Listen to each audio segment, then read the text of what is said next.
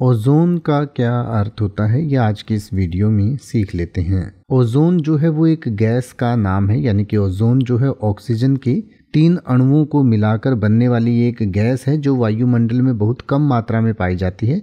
यानी कि ये जो है, ज़ीरो दशमलव ज़ीरो दो प्रतिशत ही होती है, और ऑक्सीजन जो है, वो ओ से बनता है और जो ओजोन है वो ओ थ्री होता है, यानी कि ओजोन में ऑक्सीजन के तीन अणु पाए जाते हैं, यानी कि ओ थ्री को हम ओजोन कहते हैं।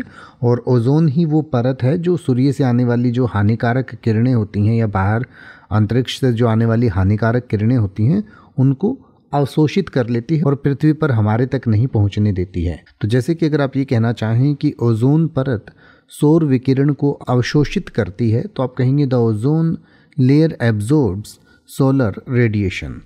The ozone layer absorbs solar radiation.